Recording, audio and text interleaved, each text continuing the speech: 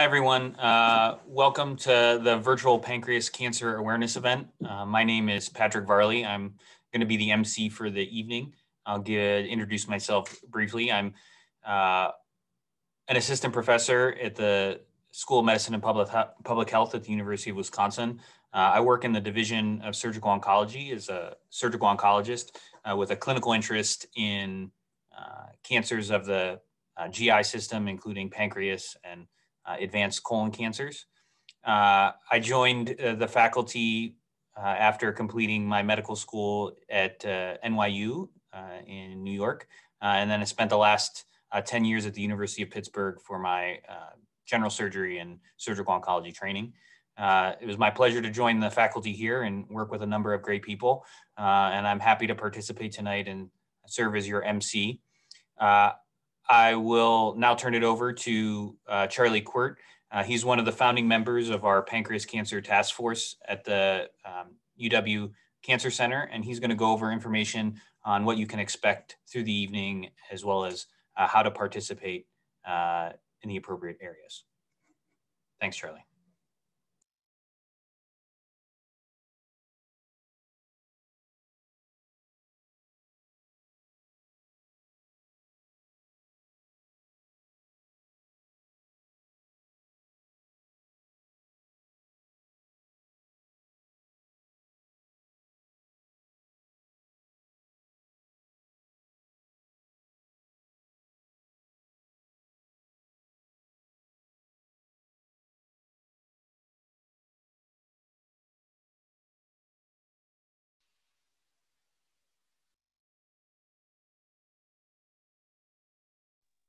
Sorry, I was muted. Thank you, Dr. Varley, and a warm welcome to our virtual pancreas cancer awareness event for all of you out there in Zoom land. We're going to walk through a few slides to make this awareness event an even richer experience for you. To enable those who are not able to be with us at this event, this session is being recorded. An email will be sent to all participants' email address with this recordings link. All attendees are in listen-only mode with no video. However, you have the ability to ask your questions at the end of the event and actually anytime during the event. Today's recordings vary in volume, so you may want to adjust the volume on your phone or PC as needed. Next slide. For issues that arise for any of you, please feel free to use the chat feature. The chat is found by moving your cursor to the bottom of the screen and clicking on chat. Second note is there will be six recorded presentations. After the presentations are completed, we will have the final segment of the event, the question and answer segment. However, you can ask your questions at any time with using the QA icon. Questions can be asked using the QA icon found next to the chat icon. Again, today's recording is very in volume. You may want to adjust the volume on your phone or PC for each recording. The QA segment will have a panel of UW Carbon Cancer, Carbone Cancer Center faculty and staff who are with us here today and available to answer your questions. We thank you for joining us, for taking the time to get an update on what's happening at Carbone Cancer. Now enjoy the event.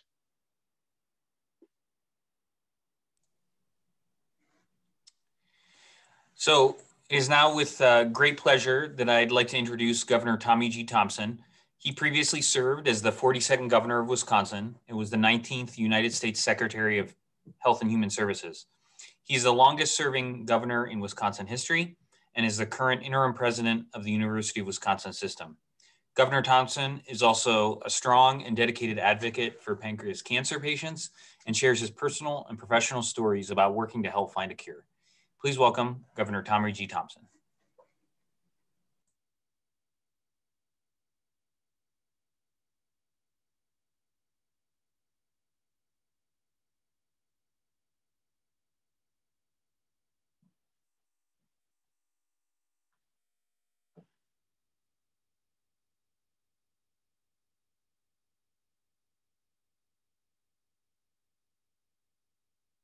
sources and the critical information that you're going to need about the treatment options as well as the care.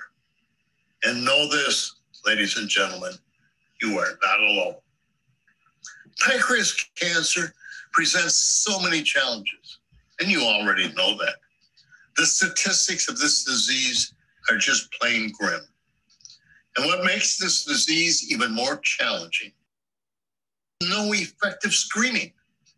Symptoms are vague, and a diagnosis typically only comes when the disease is advanced. And when the director of the UW Carbone Cancer Center, my friend and colleague, Dr. Howard Bailey, is asked what is it going to take to find a cure for cancer. His response is both simple and complex. It's going to take research to find that cure.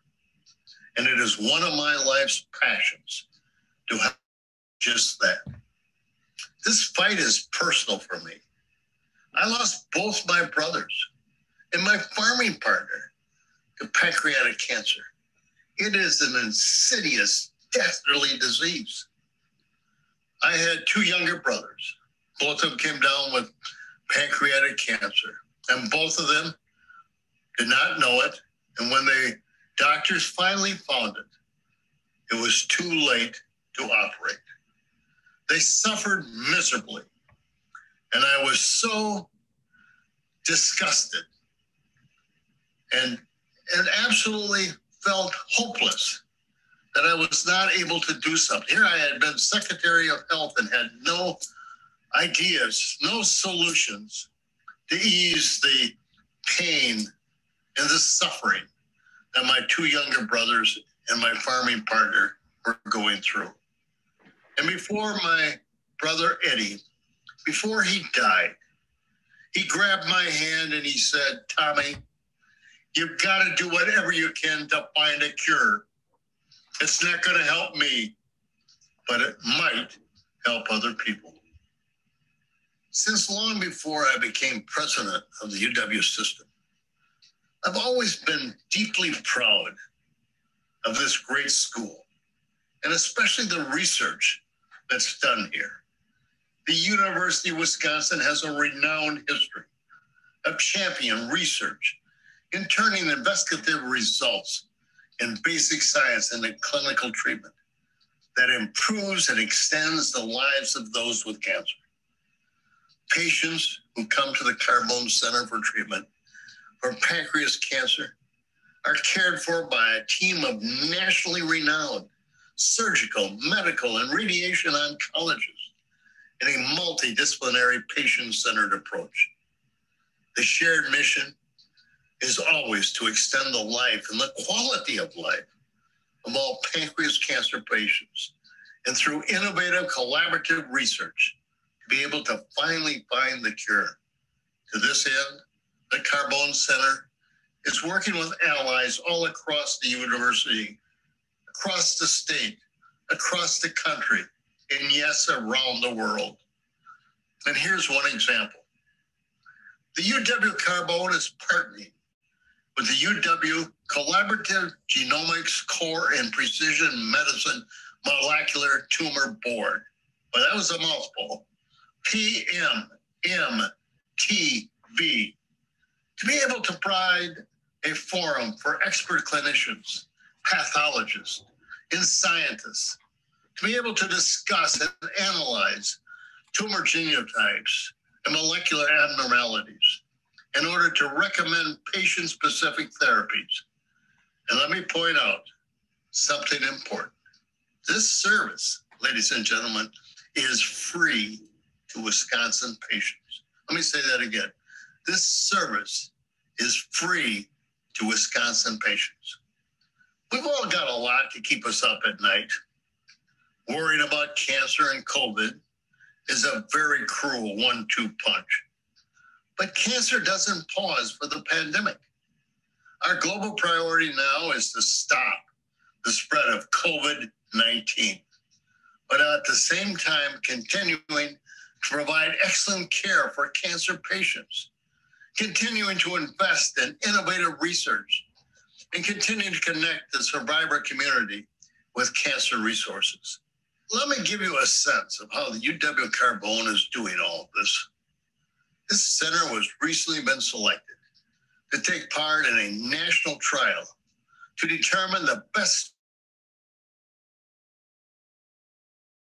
ductal adenocarcinoma, PDAC, a highly prevalent type of pancreatic neoplasm that's led by principal investigator oncologist Dr. Noelle LoConte. The trial focuses on understanding how chemo affects older adults' functional abilities while at the same time going through this chemo treatment. Another three pancreatic research projects are also underway at UW Carbone Cancer Center, as well as a collaborative research project with the Medical College of Wisconsin. And nine more new applications have been submitted just this month for pancreas cancer pilot projects on campus. The point is, while medical professionals continue to be vigilant and provide extra safety precautions for our patients and their families during this pandemic, we're continuously working to find a new intervention and improve treatment options in order to expand immunotherapy and develop screening tests. Right now, the race is on to find a biomarker for pancreatic cancer, something that would show up in a blood test. While prevention efforts are a priority, researchers also want to continue to seek out and are for better care and treatment options. And that's where gene sequencing is potentially useful. This is where a tumor is analyzed to figure out what gene mutation is causing the cancer, which may help determine what types of chemotherapy or what types of drugs the tumor may be most responsive to. The hope is that the combination of earlier detection and more effective treatment could turn around the story for so many people who are facing this insidious disease. As my two brothers, Eddie and Artie, would say, that truly, ladies and gentlemen, is worth fighting for. And as Alex Trebek has shown us, who just passed away with pancreatic cancer, staying in the fight is what it's all about. This fight to find a cure, to find a solution to pancreatic cancer. So thank you, each and every one of you, very much for joining this event. We hope you find it useful. Coming up, we've got several presentations, personal stories, and a panel of experts to be able to take your questions and give you answers. My best wishes to each of you. And thanks for joining us. Thanks for continuing this fight against this insidious disease of pancreatic cancer. Good luck, and let's do it together. Let's find the cure.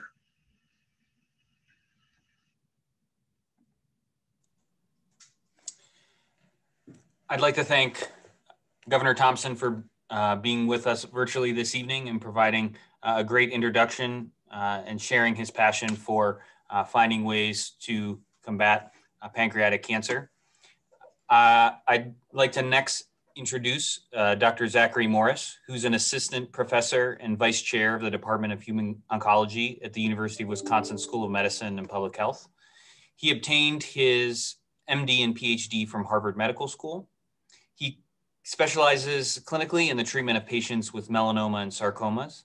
He's the co primary investigator on a cancer moonshot initiative funded as part of the Immune Oncology Translational Network.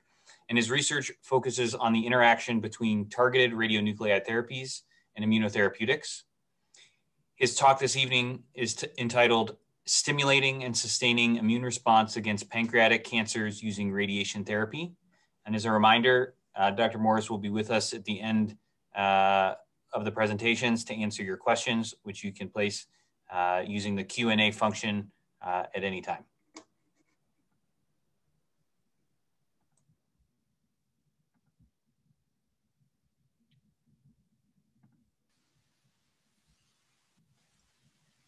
Hello, uh, my name is Zach Morris. I'm a assistant professor here at the University of Wisconsin and I work in the uh, radiation oncology department. I also have a research lab uh, focusing on interactions of radiation and immunotherapy. It's an honor to be here tonight uh, with you all. Uh, and I want to thank the organizers for the invitation. I also want to thank each of the audience members for the, their presence here tonight and for their support of uh, both the Carbone Cancer Center as well as pancreatic cancer uh, and the research that we're doing in that area. With the time we have here tonight, I'd like to take the opportunity to discuss some research options and opportunities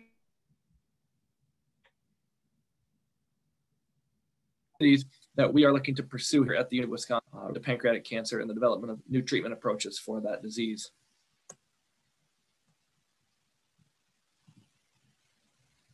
As many of you may be aware, the development of a cancer takes uh, is a complex process. It takes many steps.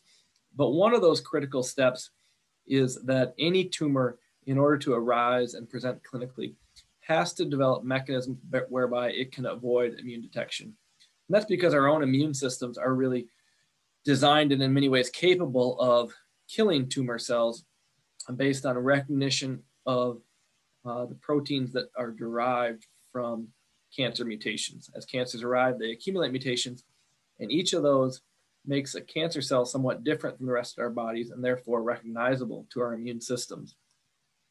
And the process whereby uh, our uh, cancer and uh, our own immune systems interact has been well described as a subject of uh, ongoing research. A model put forth here by Robert Schreiber's group at Washington University in St. Louis describes the so-called three E's of the tumor uh, immune system interactions. In this model, an early tumor may be recognized by uh, our immune systems and eliminated. But some tumors may evade this process, develop uh, certain characteristics that allow them to hold the immune system at bay and enter a state of equilibrium. And ultimately, those tumors that we see clinically that present in patients and are progressing or even spreading to distant sites are those that have escaped the immune system. And there's a variety of mechanisms that are now understood to enable tumors to do this. And the field of immunotherapy is one that has really taken off in recent years in cancer treatment uh, and in oncology, because this is a field that uh, essentially aims to reverse that process, uh, to take a tumor that has escaped immune detection and make it recognizable to immune cell killing. There's a number of different types of immunotherapies. I've listed uh, some of the categories of those here. And uh, for today's purposes, we'll focus largely on one of those categories, the immune checkpoint blockade or T cell checkpoint inhibitors. Examples of these include antibodies that target anti-PD-1 or antibodies that target anti-CTLA-4. And the way that these work is that uh, a tumor cell, shown in red here on the diagram, can often be recognized by a patient's own immune system, particularly T cells, shown in blue on this diagram on the top. And that recognition takes place when a T cell recognizes some feature of a cancer, typically a mutation that has led to the creation of an abnormal protein. And our immune cells, T cells in particular, can recognize that abnormal protein and when they do, they have the capability of killing that tumor cell. However, to evade this, tumor cells can upregulate or increase the expression of certain proteins on their surface, such as PDL1, shown in purple here. And when that takes place, PDL1 can bind to the PD1 receptor on the T cell and effectively shut off that T cell or prevent T cell mediated killing of the tumor cell. And these immunotherapies, such as anti PD1 antibodies, can block that, effectively taking off the brakes of that immune system and allowing it to go forward and kill that cancer. These types of immunotherapies have proven effective for a number of different types of cancer. Shown here from a study in patients with melanoma is a survival uh, plot. And what we see is that some patients who receive the drug nivolumab, which is an anti-PD-1 inhibitor uh, on the yellow curve, exhibit, exhibit long-term survival despite having metastatic disease. That is in contrast to what we typically used to see in that disease with chemotherapies shown on the blue curve. That was a favorable uh, uh, trial demonstrating progress with this immunotherapy in curing more patients with despite having metastatic disease the early part of this curve do not seem to respond to immunotherapy. And as I've indicated in the color bar here, those patients that do not respond have been described as those that have tumors which are immunologically cold or have not yet really been recognized by their tumor.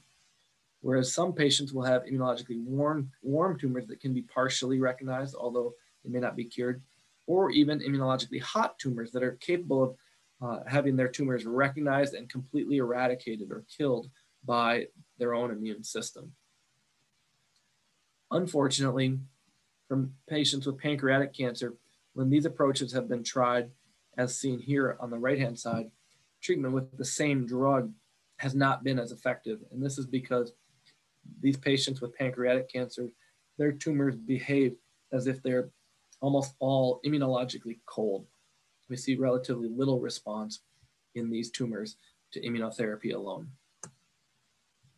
The reasons for that are, are multifactorial.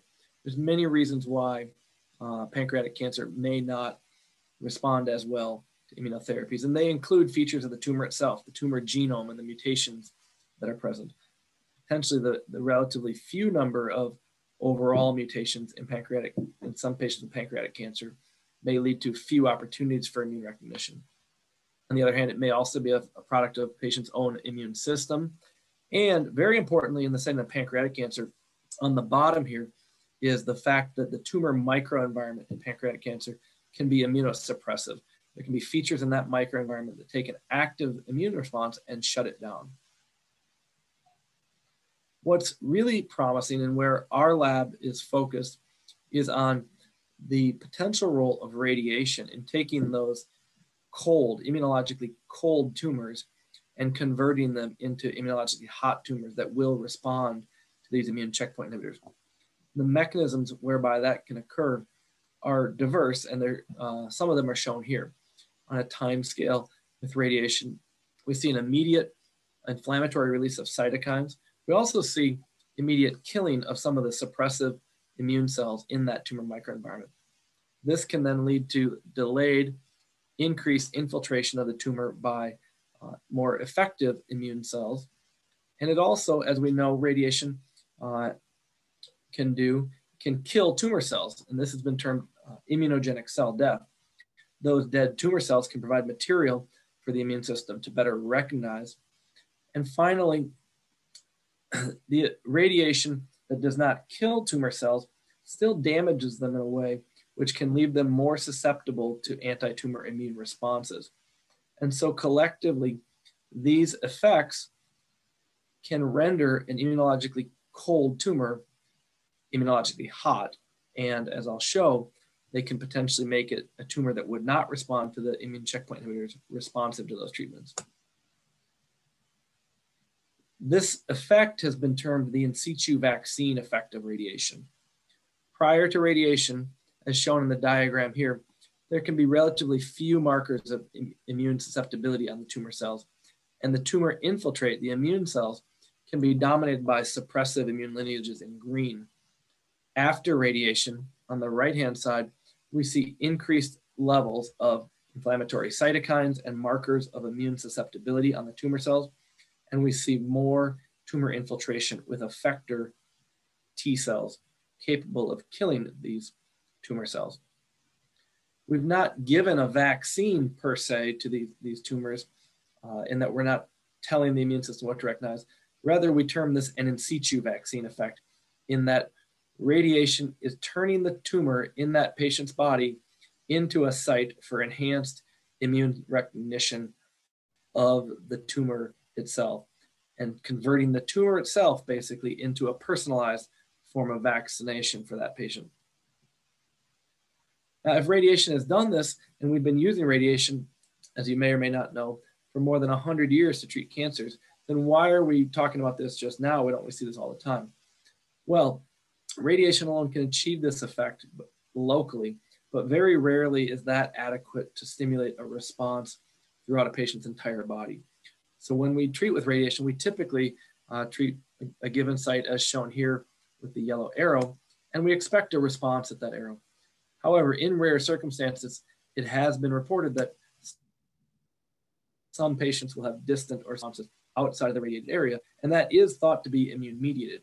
It's simply quite rare. And why is that so rare? Well, there may be a number of reasons. Some of them may reflect the way that we've traditionally given radiation in the clinic. Lymphocytes, or the immune cells that we want to kill, that we want to have kill the tumor cells uh, that we want to keep around, are very sensitive to radiation. And when we have traditionally given radiation, we've often had to do so with relatively large fields that incorporate or include blood vessels where there's a lot of lymphocytes flowing through. And we've also, also in order to limit toxicities, had to give radiation in small amounts divided over many weeks. And the effect of that is uh, on the plot here with the white circles, after radiation, because of the exposure of that blood pool to low doses of radiation, those very sensitive immune cells can be depleted. We see decreased blood cell counts in some patients after that form of radiation. As we've gotten better now at targeting radiation, we're able to give it in fewer number of treatments. And that limits the exposure uh, to the blood pool because it decreases the amount of time that we're treating these patients for. And with that, as shown in the gray circles here, we don't see these same effects of radiation on depleting lymphocytes. And so some of our technological advances may enable us to avoid some of those detrimental effects that limited the immune capacity of radiation in the past. Similarly, some of the techniques that we used in the past to deliver radiation, uh, most typically, uh, were not as targeted as what we're able to do now. Shown in green is a more uh, traditional approach of delivering radiation using 3D conformal techniques. With more advanced intensity modulated techniques in the black curve, we see reduced effects on lymphocyte counts. And with more advanced technologies such as particle therapies, either in the red or blue curves, we see even fewer effects. Here at the University of Wisconsin, we have tremendous technological capacities and can deliver state-of-the-art care. We don't, however, currently have particle therapy. This is an area that I feel uh, quite strongly we can do better with here at the University of Wisconsin. And we're currently fundraising in an effort to bring particle therapy to the state of Wisconsin. Currently, there's no particle beam therapy anywhere in the state of Wisconsin. These are proton or carbon ion type of machines that are very large and relatively expensive investments, but they offer the opportunity to deliver more targeted treatments with greater precision. They're the standard of care for many types of pediatric cancers. And I strongly believe that these should be available to our patients here in Wisconsin. And if any of you are interested in contributing to these types of uh, fundraising efforts, we certainly welcome your contribution as we look to bring this technology here to the state of Wisconsin. These also, I think, will be instrumental in allowing us to maximize the potential for integrating radiation and immunotherapy as I'm talking here in this discussion. Aside from those uh, advances technologically, we've also learned more about what radiation does in a given cell. With radiation, we've always known that radiation created DNA damage. DNA is typically housed in the nucleus of a cell, shown here. But what we've more recently discovered is that after radiation damages DNA, sometimes that DNA can leak into the cytoplasm or the outer portion of the cell. And when that happens, cells behave as if they've been virally infected because in general, a cell should not have DNA in that outer portion. And when it does, it suspects or thinks, so to speak, that that is a virus that has infected that cell. And it activates pathways that upregulate the susceptibility of that cell to immune detection and killing. This doesn't happen at some of the doses that we have historically relied on for cancer treatment. In fact, at lower, lower, more traditional doses, we see relatively little activation of this mechanism.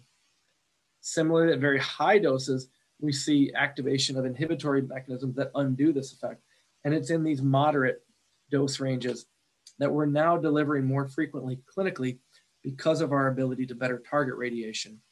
And so both the technological advances and our knowledge base have advanced in recent years in a way that allow us to better understand how to integrate radiation effectively with immunotherapies. And interestingly, now when we've done that in clinical trials, we've seen as a field that patients, such as two patients represented here from a study in the lung cancer, may at baseline not recognize certain features of their cancer. And then following radiation therapy, we can detect T cells that recognize mutations that are specific to that patient's cancer. And this is a proof of concept that radiation can in fact activate tumor specific immune response or an in situ vaccine effect.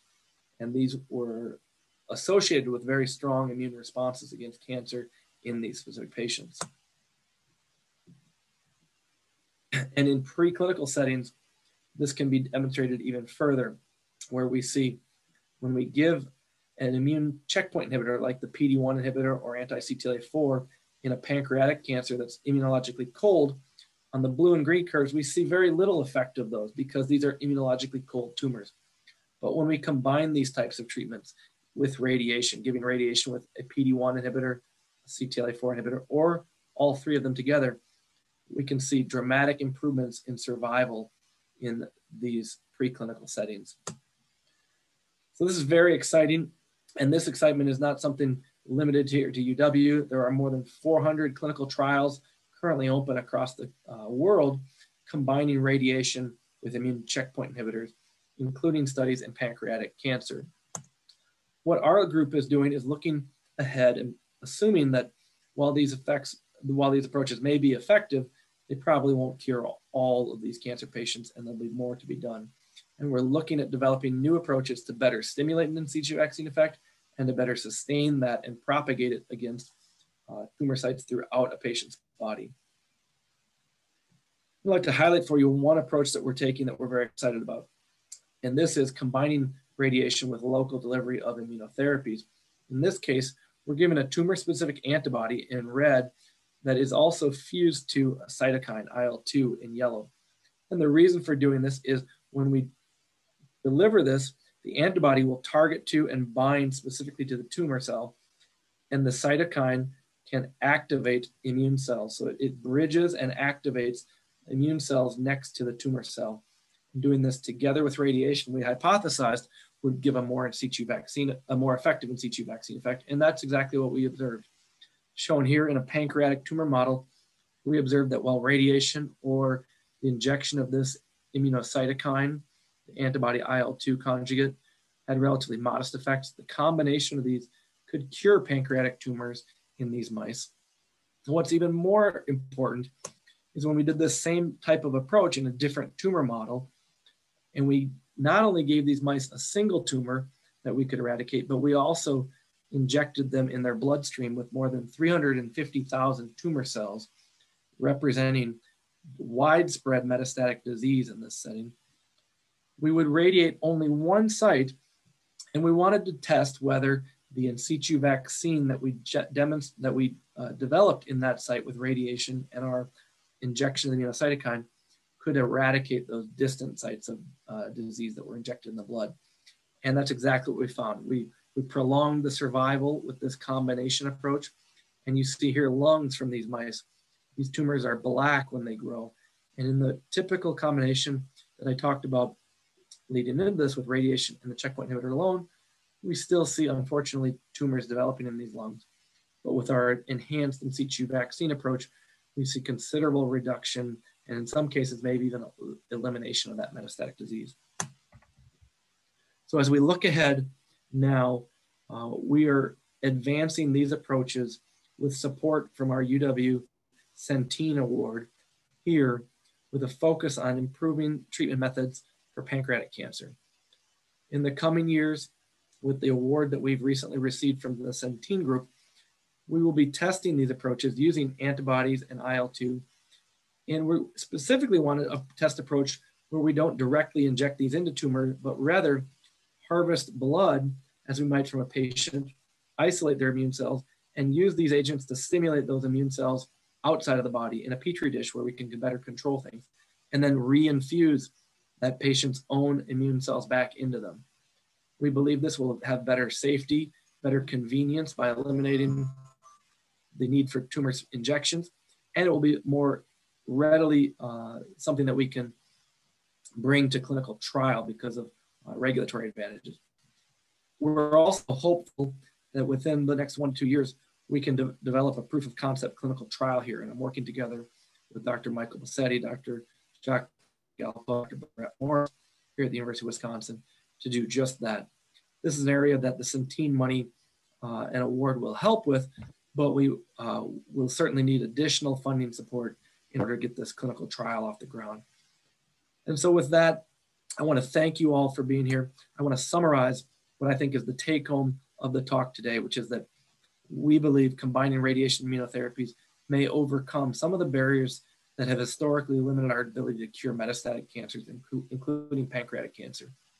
We believe it will that these combinations will do so because they'll have relatively limited toxicity due to their exquisite specificity to the patient's own tumor, because of their specific patient mutations, and then kill those tumor cells and learn more as they go. As, as the immune system kills, it processes the, that material from the dead tumor cell and recognizes additional features so that when a patient becomes resistant to a drug, for instance, it's because some of those tumor cells don't have the target of that drug. In this case, we expect that not to be an effect, uh, an effective means of resistance because when we begin an immune response, it will begin to propagate itself and the immune system will learn as it kills and better recognize that patient's cancer so it can limit chance for resistance. In addition, sanctuary sites have traditionally been a challenge. There's some areas like the brain or other parts of the body where chemotherapies can't get or other treatments sometimes are not possible. Radiation can be delivered to any location in the body and the immune system can survey every location in the body, including sites that we don't even see with imaging, those occult sites that may not, not be detected now but could show up in the future. These approaches offer a very promising chance to improve upon the treatments of pancreatic cancer. Thank you for being here tonight. Uh, really welcome any questions that you may have during the discussion portion of this. I want to thank uh, our many collaborators and funding uh, support here, uh, in particular the Centene group for their award uh, related to pancreatic cancer here at the Carbone Cancer Center. Thank you.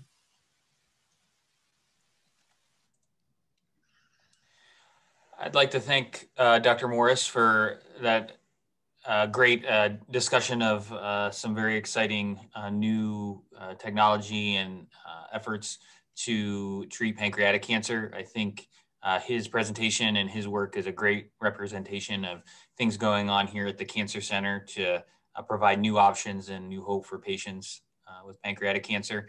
I, I, think I'd editorialize as well and um, use this opportunity to thank uh, all those patients who, who uh, participate in trials through either the cancer center here or elsewhere uh, who have you know really been the ones who uh, make some of these discoveries possible uh, for uh, you know to help people in the future even if they don't get direct benefit you know everyone that participates in trials to find out these new new pieces of information does a, a, great service for for people with pancreatic cancer uh, in the future.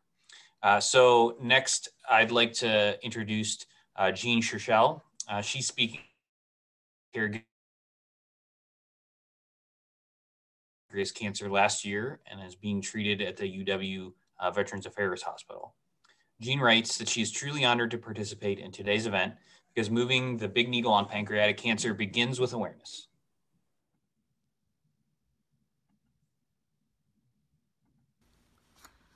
Good afternoon. My name is Jean Cherchell, and my hero and my husband, Al, has approved this message. And I'm very honored to be participating in today's pancreatic cancer awareness event because that's where it begins with awareness. I'm going to spend the next few minutes sharing Al's story, which in most cases really becomes an our story. Al was diagnosed two and a half years ago, out of left field, shockwave number one after a uh, two weeks after a per perfectly good annual checkup.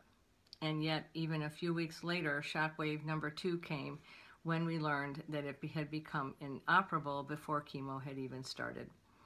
Al has had really terrific care. He's a veteran and he has been being treated at the VA hospital right next door to UW Carbone and under the guidance of Carbone Oncology and GI teams. We are exceedingly grateful for the combined expertise, skills, and compassion of VA and UW. It's unique and it's not lost on, on us how valuable it has it is. Creating time to keep, add, and even eliminate treatment options while maintaining quality of life has really been the name of our game. Um, you know, all, th all the things that we're doing is aimed and supporting that effort.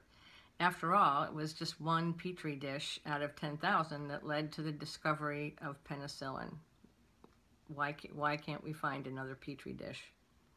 And looking back at our journey, four themes started to merge. The first of which is attitudes and beliefs. Number one is um, I focused on finding pancreatic cancer success stories.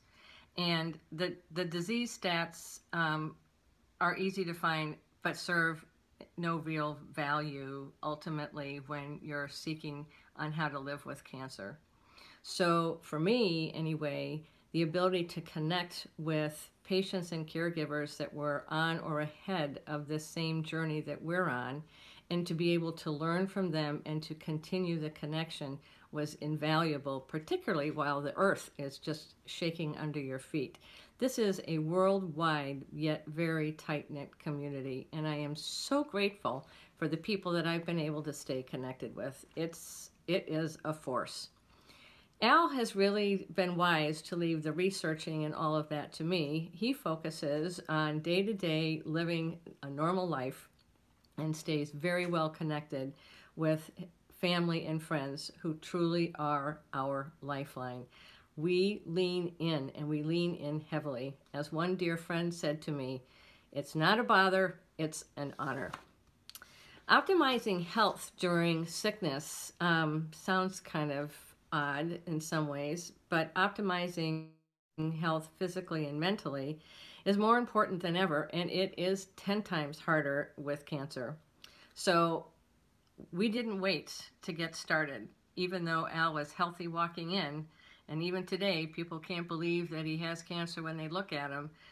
We call it, we do everything we can to help Al stay in the ring. Diet and nutrition um, is really a cornerstone for us. We view food and have long viewed food as medicine. We pushed for a nutritional consult early on and didn't wait for that and today we still get a nutritional consult every four months with integrative insight to guide our diet um, and the decisions that we make therapeutically, adjust them, and continue to tweak them. Things change and your diet has to adjust as well. Our goal is to keep weight up, inflammation down, and the immune system up, and there are ways to do that that we've learned. Exercise is a Herculean effort. Um, it's a Herculean effort some days and even more so than other. But one way or another, Al finds a way to move, to strengthen his muscles. He's got house projects. We've got plenty of those. Walks, yoga, the elliptical, a punching bag, acupuncture, and an electricized recumbent bicycle are all the tools in the bag. And he uses them often. Emotional health takes on a whole nother dimension in pancreatic cancer because who knew that this little organ called the pancreas wields so much power? But it has, um, but it does. And um, there are plenty of side effects to manage and to document, and they're actually relatively easy to document and quantify. But emotional health, not so much. So we know and now expect that with pancreatic cancer, these waves of depression are going to roll in. And I know that when when those days hit, that it's the disease talking, not Al when he's frustrated. Al also knows that he has uh, all those tools of and exercise and others to put into motion to help cope with the depression that can that can hit and he does a really great job of it. He is a master of it. For me, as the caregiver, spouse, advocate, scheduler, coordinator, all these roles, um, it's my friends, my meditation, getting outside, exercise, yoga, golf, um, and what anchors me truly is uh, gratitude.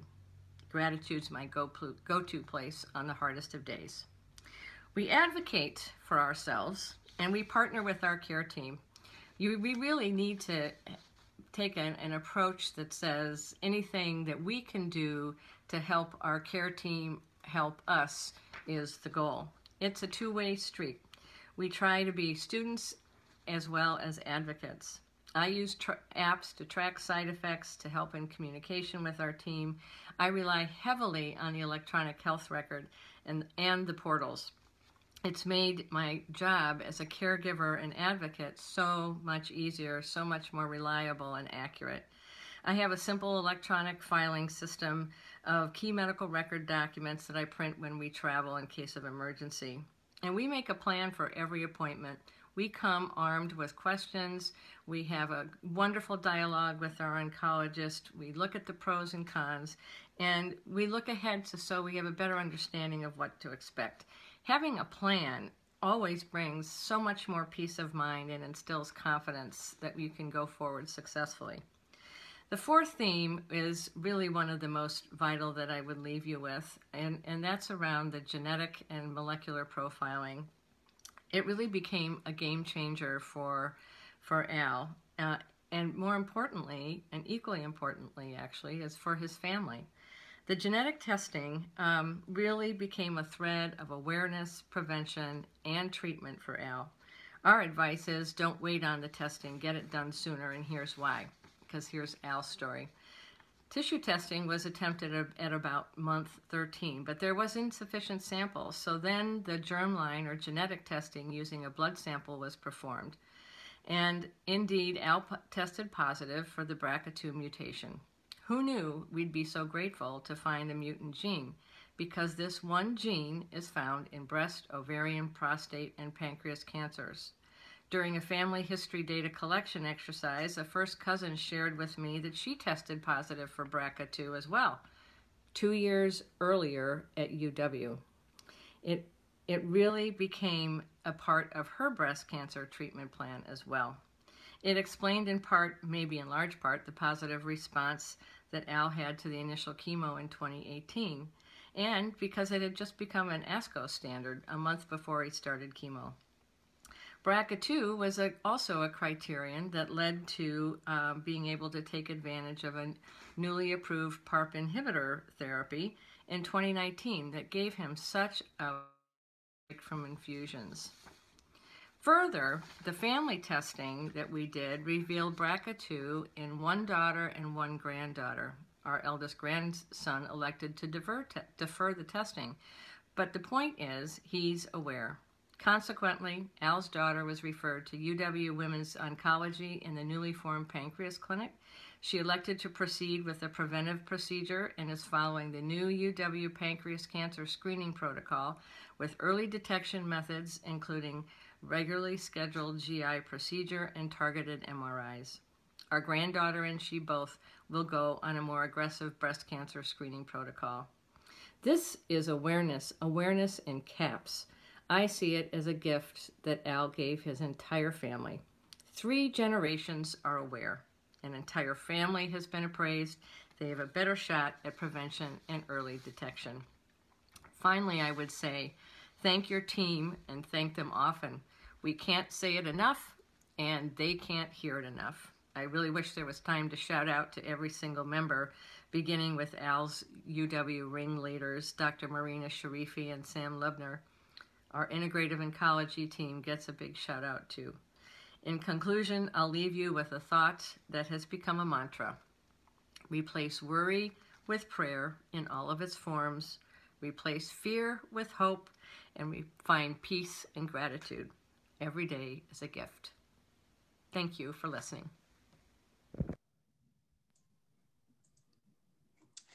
Uh, thanks to Jean and Al for sharing their story. I think uh, Jean's comments uh, highlight something that all of us who treat pancreatic cancer know, and for all those people who have uh, are either fighting it or have family members that are dealing with it, that pancreatic cancer doesn't just affect the person with the disease; that it's really uh, something that's a, a family, uh, sort of something that's shared in, in a family, and, in our support uh, system is, is very important for making sure patients get the care that they need and tolerate it uh, to the best of their ability. So I think she's a great example of that uh, and something we would hold as, a, as, an example for everyone else facing this disease. So I now have the uh, privilege of introducing survivor Susan Henneman. Susan was diagnosed with stage four pancreatic cancer about four years ago. She's been on chemo and then had radiation therapy to both the liver and a pancreas lesion. Uh, she has an amazing story to tell and gives us a good reason for hope.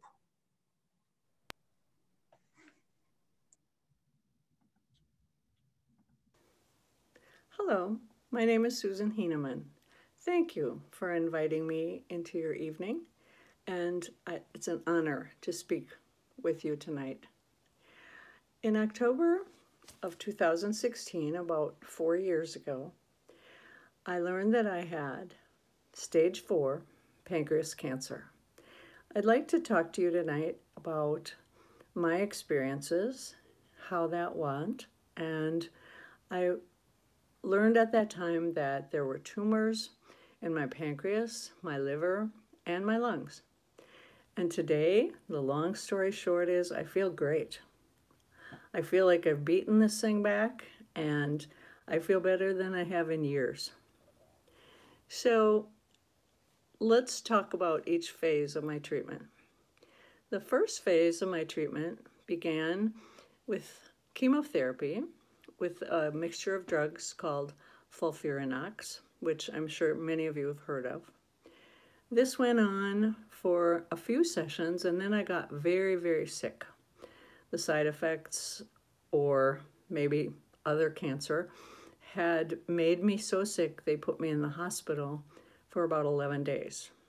And at that time, they really didn't think I was going to survive, and I fooled them all happy to say that. I fooled them all. And I did survive. And in January of 2017, I went back on chemo with a little reduced dosage, a little fiddling with the cocktail, as they call it. And I did really well. And so for every other Wednesday, followed by two days at home on the chemo pump, and then back 11 days later for more chemo. And it was fine. I had fairly mild side effects, a few bothersome ones, but nothing very life threatening. I was in chemo on a regular basis for 28 months, all the way from January of 2017 through January of 2019. And nobody seemed to think that I would continue to tolerate that, but I did. I'm happy to say. Then in March of, excuse me, in March of 2019, I, I had a short course of radiation, just a few weeks. And after that, they said the radiation had really done the job and cleared up the rest of my problems.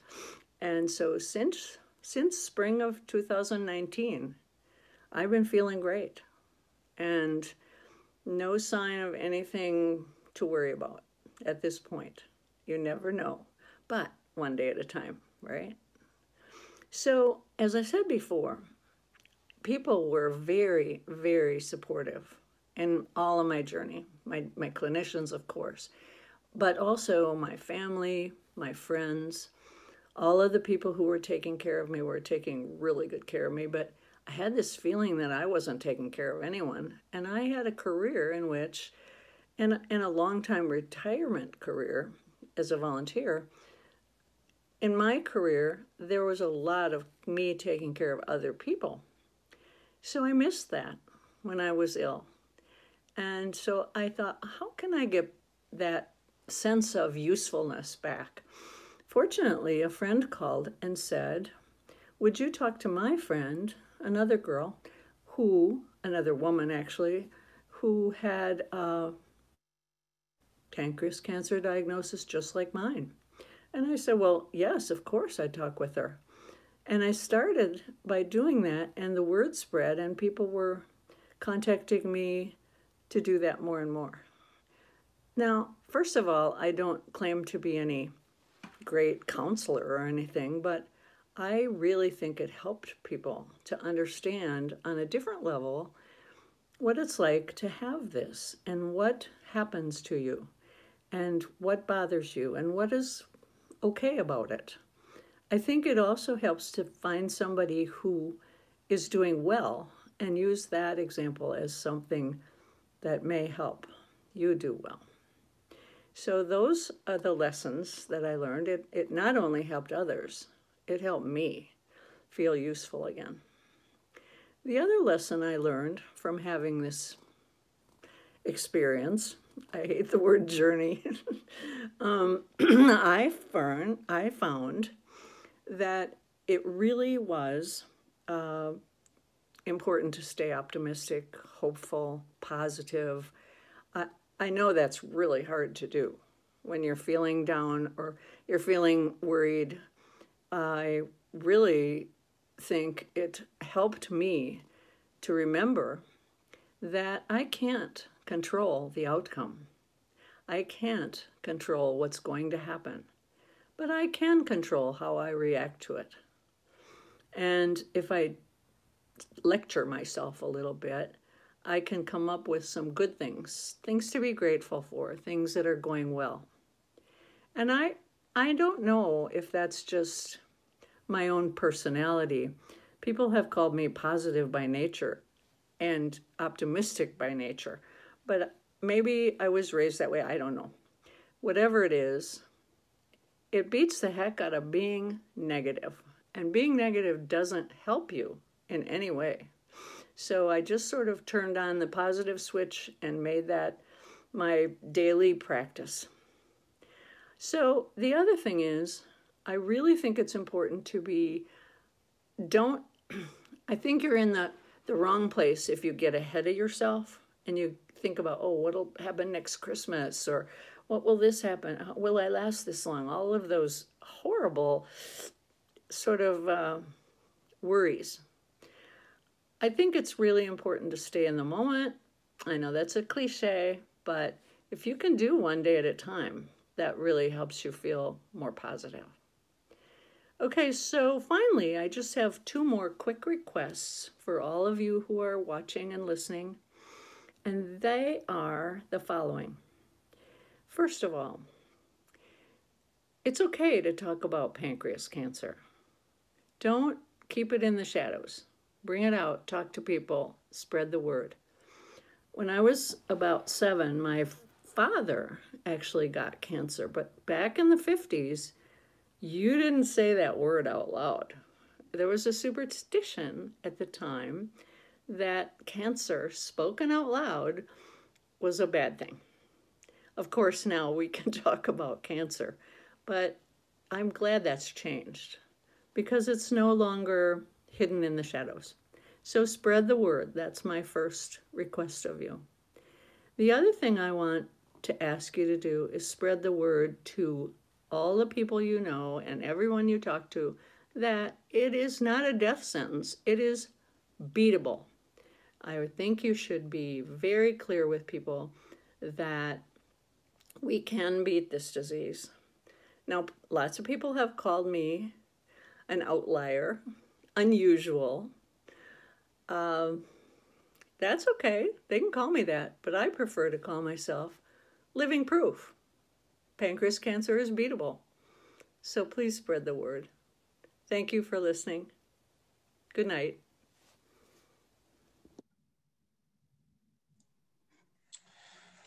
So thank you to Sue for sharing her story. I think it's a great reminder to us all that um, everyone's journey is unique, uh, and we sort of don't know where that's going to begin and end when they enter this. Uh, all we can really control is how we uh, face the disease, both as providers and, and, patients. So I think her story is a great example of that uh, and, and, a good reminder to us all.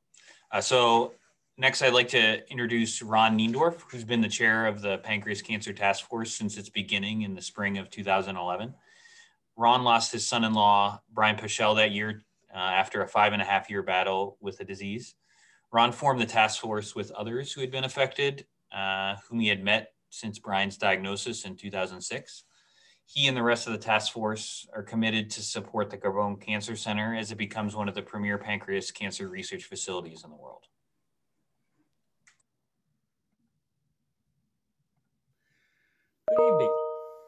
Thank you for joining us at our annual Pancreas Cancer Information Night. Because of the current COVID 19 pandemic, I'm speaking to you virtually tonight, and that's something new, like so many other things today. I can tell you that recording this in advance is a lot harder for me than standing in front of you, but here we go. I want to tell you a bit about the UW Carbone Pancreas Cancer Task Force that has organized this event. We're a group of volunteers dedicated to doing what we can to help Carbone become a world leader in pancreas cancer research and treatment. Our group formed almost 10 years ago in the spring of 2011 when several people who had been affected by pancreas cancer met with a group of doctors from Carbone Cancer Center. Some of us had already lost someone to pancreas cancer, others of us were about to. I will tell you, though, that over the years, two of our members have beaten the odds and are pancreas cancer survivors. In 2011, there was really no pancreas cancer specific research being done at Carbone. There were 280 researchers and doctors, but none of them were working specifically on pancreas. To be sure, there was pancreas cancer related research going on, but nothing specific to pancreas cancer. We knew we had some of the best cancer researchers in the world at the Carbone Cancer Center, and we wanted to find a way to get them to think about how what they were doing might relate to pancreas. And so we asked the doctors in our group what we could do to encourage pancreas cancer research at Carbone. And what they told us was that basic research was needed research is kind of a catch 22 situation. You need really good, strong data to win the large national grants that can sustain a pancreas cancer research program. But you need money to get that data. And that's where we found an opportunity. We, they assured us that many people at Carbone had a keen interest in pancreas cancer and that if the funding were available, they would make proposals. And so our group decided to form our task force and to raise money for basic research and to find ways to help patients that are currently being treated. We established the Pancreas Cancer Research Fund and started working on our first fundraiser. We encouraged others to do the same. We met regularly with Carbone staff to ask how we might increase the visibility of what we were doing within Carbone. We organized presentations to local service groups by Carbone researchers, and we started looking for other ways that we could support the fight against this disease.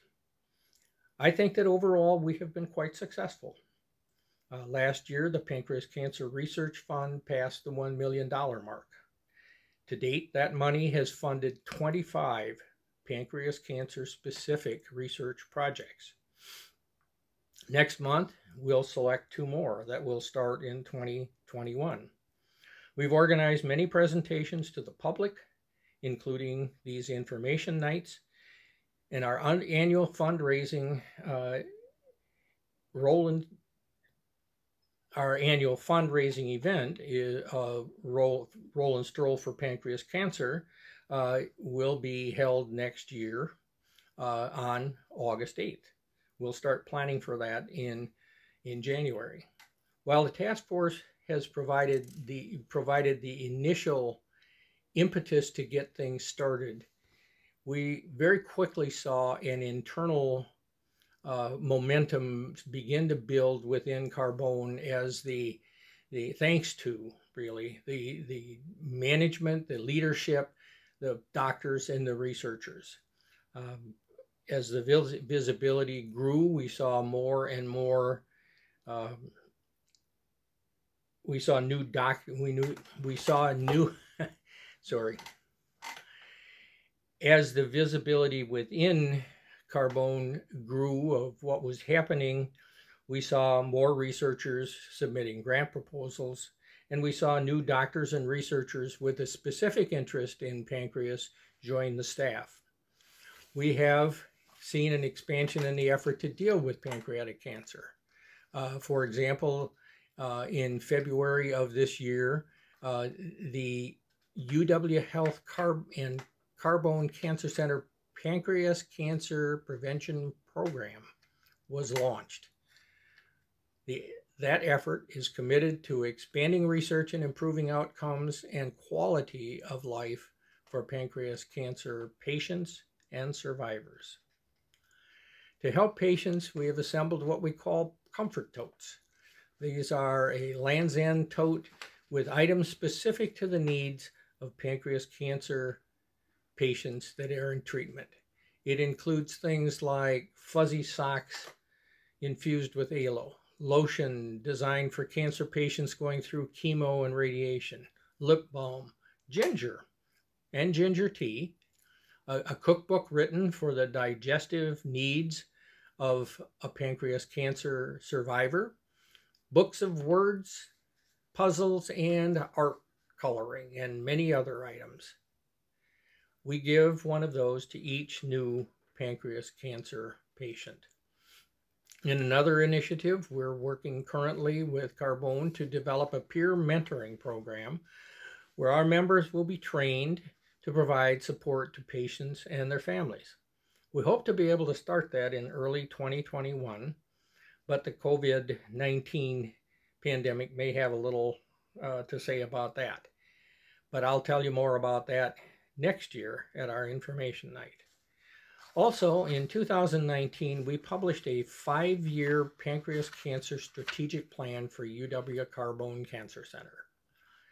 This plan is a roadmap for the next phase in building a permanent and sustainable cancer, pancreas cancer research program. Over the coming five years, Carbone will establish an environment that will make more information available both internally and, and externally. They will strengthen their team of, of experienced researchers and they'll provide opportunities for medical and graduate students and others uh, to go down the career path of pancreas cancer research. Carbone is expanding this world-class pancreas cancer research team so that through research, they can provide better methods for early diagnosis, for improved treatment options, and ultimately a cure for this terrible disease. I think that's about enough about the task force. So in closing, I'd like to express, though, my sincere gratitude to the leadership, the doctors, the at Carbone for working with the task force to make all of this happen. I also want to thank all of the past and present members of the task force who have worked so hard and volunteered hundreds of hours to make this happen. If you'd like to learn more about the task force or take a look at the five-year strategic plan, go to uwhealth.com slash PCTF. That's uwhealth.com slash PCTF, like Pancreas Cancer Task Force. Again, thanks for joining us and enjoy the rest of the evening. Thanks, Ron, uh, for that. Uh, again, I just echo uh, his thanks uh, not only to him, but the rest of the task force for their vision uh, and efforts to support not only the research uh, that we as physicians and, and researchers do, but also their continued support for patients and their families who have pancreas cancer. So next, we're going to go to Emily Reinstead and Crystal Dowderman. Emily Reinstead is a family nurse practitioner who specializes in hepatobiliary surgical oncology and pancreas cancer prevention. Her experience as a nurse includes hospice, rehabilitation, medical, surgical, and home infusion.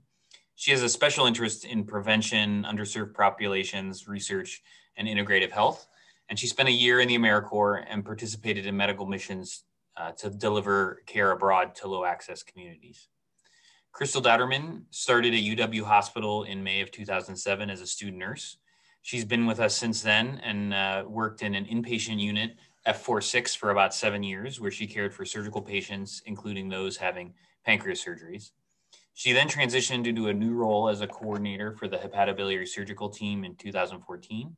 Uh, and she currently serves in the role as a nurse navigator uh, in the Pancreas Mass Clinic. Uh, they'll be talking to us today about our new efforts uh, in our multidisciplinary cl clinics, uh, which they'll explain, and have been the uh, effort of Dr. Rebecca Minter, who joined the de department as the chair in 2018, who's not only a world-renowned uh, researcher, but also has a special interest in pancreatic cancer. And it's always good to have uh, someone uh, making the decisions that uh, has, a, has an interest in pancreas cancer because uh, she's really sort of moved the needle on the way that we do things for patients with pancreatic cancer. So I'll turn it over to Crystal and Emily.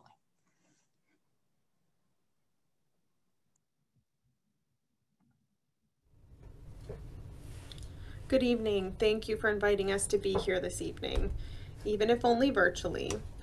This event is such an incredible resource to our community, so thank you to everyone that worked so hard to put this together. We, we feel really grateful to be involved. We're excited to share with you some information about two programs we have here at UW Hospital regarding pancreas cancer prevention and treatment. My name is Emily Reinstead, and I am a nurse practitioner in the Surgical Oncology Department and also the Pancreas Cancer Prevention Clinic. And uh, Crystal Dowderman will also be presenting today, and she will be talking mostly about the Pancreas Mass Clinic, and she's a nurse navigator for the Multidisciplinary Pancreas Clinic. I'm going to take a few moments to talk to you about the location and function of the pancreas. On this drawing, you can see a pinkish curvy organ in the upper right of the picture or your screen, and this is the stomach. The pancreas is represented by the yellow, more textured looking drawing, and it sits just behind the stomach. The pancreas is a very important organ, and any issues with it can cause major medical problems. The function of the pancreas is twofold. It has exocrine and endocrine function. Most people associate the pancreas with endocrine function because they think about insulin production and diabetes. The endocrine function truly is related to regulating blood sugar. So it produces hormones such as insulin and glucagon. And insulin actually prevents your blood sugar from getting too high, and glucagon prevents your blood sugar from getting too low. There's also exocrine function of your pancreas, and it produces digestive juices and enzymes that help to digest fats, carbs, and proteins, but fats is really important and it helps us to then be able to absorb important vitamins like vitamins A, D, E, and K. Cancer can develop in both the exocrine and endocrine cell types. The endocrine cells can typically develop into pancreatic neuroendocrine tumors, but the most common cancers arise from the ductal cells, which is called pancreatic ductal adenocarcinoma. And this is usually what most people think of when we say pancreas cancer. Many of you probably know of a lot of the risk factors for pancreas cancer. Smoking seems to be at the top of a risk factor for most diagnoses, diseases, illnesses, but it's at the top of our list for pancreas cancer as well. And then alcohol is right behind it, diabetes does increase your risk. And regards to diet, this applies more to an unhealthy diet or a diet that is high in red meats or processed meats. So we know that you can decrease your risk for pancreas cancer by having a diet that's high in fruits and vegetables.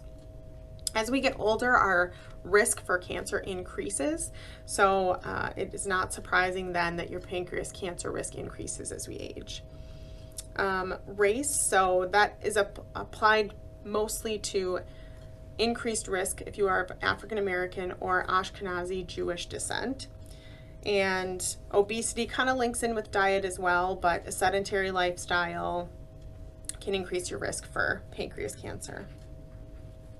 There are a lot of other factors that are being researched that I think we'll learn more, a lot more about over the next few years.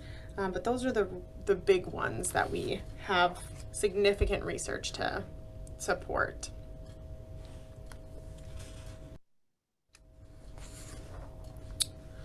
So the two clinics that we have here at UW regarding pancreas cancer are Pancreas Cancer Prevention Clinic and the Pancreas Mass Clinic. The goal of the Pancreas Cancer Prevention Clinic is to provide better continuity of care and care access for patients with pancreas cysts or high-risk genetics.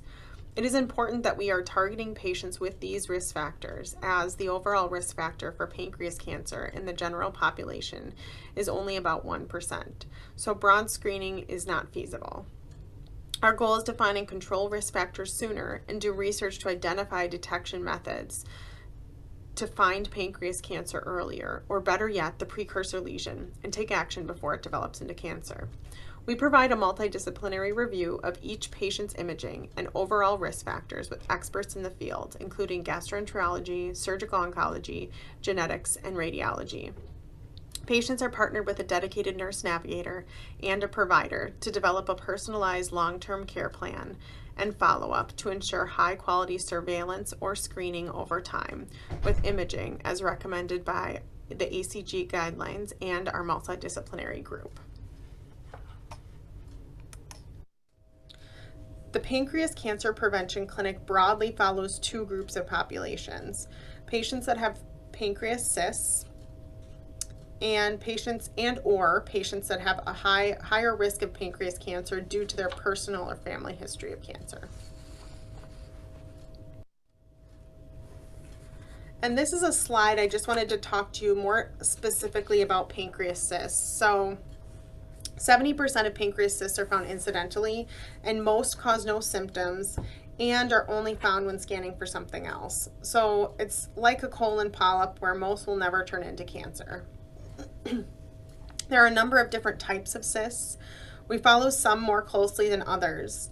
An MRI or CT image gives us the benefit of evaluating many different cyst features to help us determine which cysts are more worrisome than others. We also have another great evaluation method, an EUS, which is an endoscopic ultrasound with fine needle aspiration. This is a procedure that allows our endoscopists to look more closely at the pancreas and sample cyst fluid. We use this cyst fluid to help us better characterize the cyst and using DNA analysis help to predict chance for malignancy over time of that cyst. As we discussed, the pancreas has great function in our body, so it is never our preference to have to take part of it out in order to resect a cyst. So we use the above tools carefully to ensure we only intervene if we have high suspicion for malignant potential or confirmed malignancy from the EUS.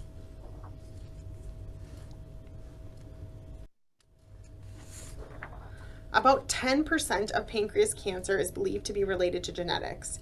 Because of this, we follow patients closely that have a significant personal or family history of pancreas, colon, breast, or melanoma in their family, with screening via EUS or MRI.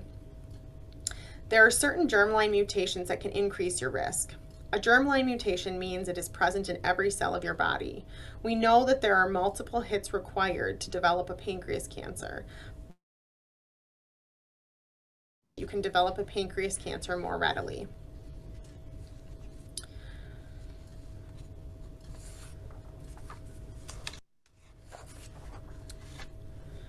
Pancreatic tumors are either exocrine or endocrine tumors, as we touched on earlier. This is based on the type of cell they start in. Knowing the type of tumor is important because each type acts differently and responds to different treatments.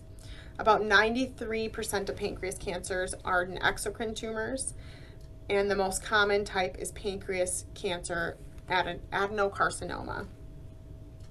About 7% of pancreatic tumors are neuroendocrine tumors, also called islet cell tumors. They often grow slower than exocrine tumors. And this slide here shows the progression from a normal pancreatic ductal cells as they move toward becoming a cancer. And it also shows, if you can see on the bottom, the HER2, KRAS, P16, those show us mutations that can help us to identify where a cell change is at from a sample. PanIN 3, which is right on the way on the right side, is the step just before an invasive cancer. So we ideally want to catch these changes before they get to that point.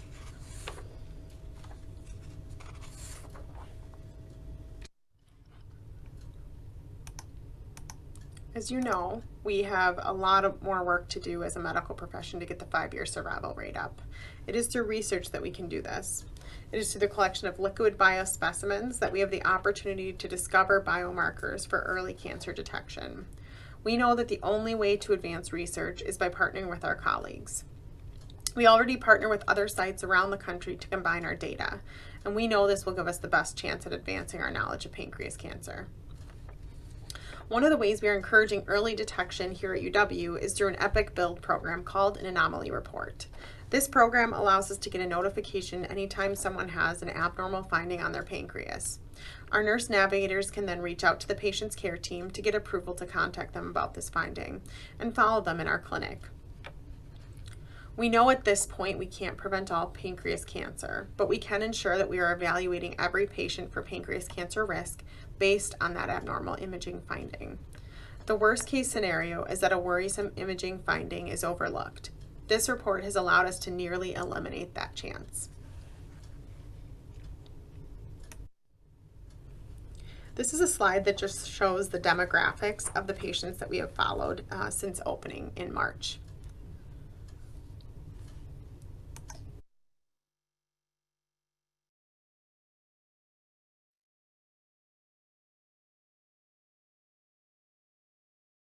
With either a their pancreas cysts or for pancreas cancer screening. So as we are able to increase our volumes, we can start reaching out to those specialties to um, start following them so that we can get all of these patients to be followed in the same place. So we do anticipate that over time these volumes are actually going to continue to increase. We've had a number of significant findings already since opening in March. We recently had a patient we were reviewing their imaging of their pancreas cyst in our multidisciplinary conference. And it was noted during conference that there was an enlarged worrisome lymph node. We initiated a workup of the, of the enlarged lymph node and patient unfortunately was diagnosed with lymphoma. This likely would not have been caught without this conference. So we're incredibly grateful to have the participation of some amazing specialists in these conferences to help us take a more detailed approach at these images to help us catch things like this. Another example is a patient that had surgery to have a worrisome pancreas cyst removed, and the pathology came back as high-grade dysplasia, which is considered carcinoma in situ, or the step right before invasive cancer. We hope for many more instances like this. Pancreas cancer, as many of you know from personal experience, is a devastating and too often fatal diagnosis. We will do everything we can to prevent others from having to experience, experience it. It's always our goal to catch early or prevent pancreas cancer, but we do get referrals for patients that have a worrisome pancreas mass or patients that already have pancreas cancer when they come to us. This is when our patients are taken care of in the pancreas mass clinic. So now we will switch gears. My name is Crystal and I'm the nurse navigator for the Pancreas Mass Clinic, which started in November of 2019. We see all patients with a pancreas mass in a multidisciplinary approach. The following diagnoses are seen within that clinic. Any undiagnosed pancreas mass, all pancreas adenocarcinomas at any stage of diagnosis, pancreas neuroendocrine tumors, and solid pseudopapillary tumors.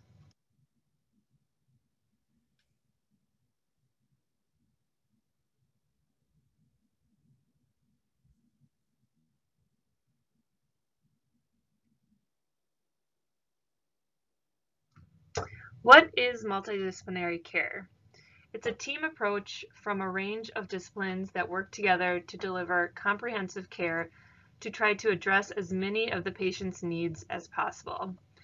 In the Pancreas Mass Clinic, we currently have medical oncology, surgical oncology, and nutrition seeing the patients together on the same day. If needed, we also have social work and radiation oncology available to step in. We also discuss the patient prior to seeing them in clinic in our hepatobiliary multidisciplinary conference, which allows for a team discussion about best plan of care for the patient.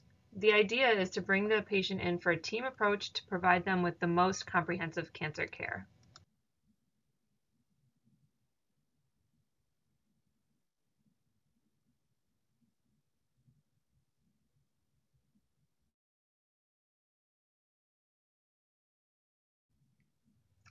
As the nurse navigator, I'm the front line for this clinic.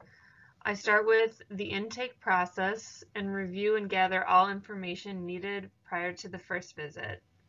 I then reach out to patients to introduce myself and the Multi-D clinic, review patient's history and their support system. I discuss with the patient about scheduling of appointments and may order other testing needed prior to the visit, which then I help coordinate for them. Also, as the navigator, I do a fair amount of teaching with the patient over the phone and in the clinic at the time of the visit related to their treatments and offering of other support services. The Pancreas Mass Clinic went live in November 2019, and as you can see on this map, we see patients from all around the area. We are working with external facilities to promote awareness of the clinic and to establish relationships with them so we can provide all patients with the same great care. And here's a graph showing our new patient volume since opening. So how can patients be referred or seen at the UW?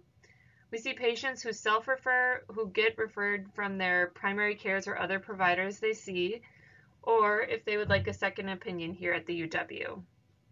The clinic is located at the main UW hospital on the second floor. Thank you to everyone for listening in and being a part of this night. And remember to wear your purple proud. Uh, so thanks to uh, Emily and Crystal for that great overview um, of the efforts here to advance uh, care for pancreatic cancer patients. Uh, I would certainly like to thank them personally. I work with them uh, as a member of these clinics. There's definitely the first line of care for uh, all of our patients uh, and you know honestly spend the most time uh, with patients and their families so uh, i think we as physicians sometimes uh, you know get the credit but the reality is uh, it's people like emily and crystal who are doing you know a lot of the work to make sure patients get what they need and understand what's what's happening. So thank you to them for all that they do. Um, next, uh, we're going to go uh, to our panel discussion. Uh, so uh, I think as some people have found, uh, you can use the Q&A button on the bottom of the screen to ask questions. We do have some questions already. Uh, I will go through them and have the panelists answer. I will introduce the, the panelists. So we have Dr. Zach Morris, who presented, as well as Emily Reinstead and, and Crystal Dowderman. Uh, in addition uh, to that, uh, that group, uh, we have joining us uh, Dr. Natalia Uboha. She's an assistant professor in the Department of Medicine here at the University of Wisconsin School of Medicine. she specializes in gastrointestinal malignancies and would be one of the people that helps us decide which chemotherapy and, and when to do that. we also have um, Jeremy, uh, Dr. Jeremy Kratz. Uh, he's a fellow in hematology, medical oncology, and palliative care here at UW. Uh, he's an active researcher uh, as well, uh, and uh, I believe will be staying on with us after he finishes his training. so I'd like to thank all the panelists for being here, and um, if it works for everyone, I can start the questions the, I, think this was covered uh, a little bit in some of the, the presentations. Uh, there's been a few questions regarding uh, genetics uh, and so, uh, so Nancy Copeland asked about the genetic link between breast cancer and pancreas cancer. Um, and there is uh, another question from Jerome Klein asked about pancreatic cancer and genetic screening and research developments. Uh, so I um, would ask uh, maybe if uh, someone, maybe Dr. Uboha or um, uh, Dr. Kratz can talk a little bit about pancreas cancer genetics and sort of uh, when patients should be tested and uh, how we follow them if they have known genetic mutations. Hi, good evening, everybody. It's a it's a pleasure to be here. Thank you for organizing such a great event, and um, uh, the presentations were excellent. And I see a lot of good questions coming. Um, the question of genetics is a very important question. Um, in the past, we used to only refer patients with significant family history um, or those who were diagnosed at very young age um, to genet- for genetic screening. And we realized that we, we were missing a number of patients who actually have mutations that could be passed down to their um, kids or the mutations that run in the families. And so about two years ago, American Society of Clinical Oncology made formal recommendations that every new patient uh, with, with new diagnosis of pancreas cancer should be referred for genetic testing. And so in our um, practice at UW, uh, this is an, an automatic referral. Everybody who is seen in a pancreas clinic um, is being referred for genetic testing. And, um, and the, our geneticists are really the best ones to comment on um, you know, the results and what implications those have for, uh, for the patients, for the family member. And I tell my patients it's important to get tested not only because of the um, because it's important to know what can be passed down to the family members, but also because we have drugs that are being developed specifically for the alterations and genetic mutations that can be found. In terms of the link between the breast cancer and pancreas cancer, the BRCA gene, which is the one we frequently pick up during the testing, you have heard about this earlier today, is associated with uh, risk for breast cancer as well. And so can run in the families where we see um, a lot of breast cancer, ovarian cancer, um, and also pancreas cancer. And then we have um, high risk clinics as well that are run by our gastroenterology colleagues that where, where, where, family members of those with pancreas cancer can be seen for further screenings. And this is Emily. Um, I'm the nurse practitioner from the prevention clinic, and I can speak a little bit to um, the prior. So for in our clinic, we have uh, an amazing group of providers that include geneticists and genetic counselors.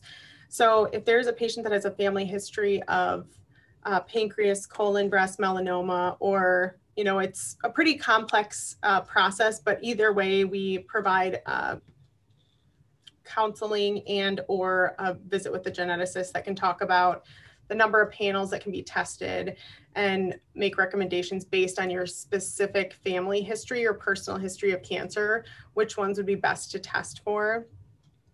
And if any of those come back, or depending on, we know we're missing something when it comes to the uh, genetic mutations. So even if there's a significant family history, but no genetic mutation found, sometimes that still puts you into a high risk hereditary population, in which case we would still follow you here in our prevention clinic. Um, and that would be with MRI or CT, and then that alternates with the EUS procedure that I talked about in the presentation. Um, so that you're, if you fall into that population, we would follow you here at the prevention clinic.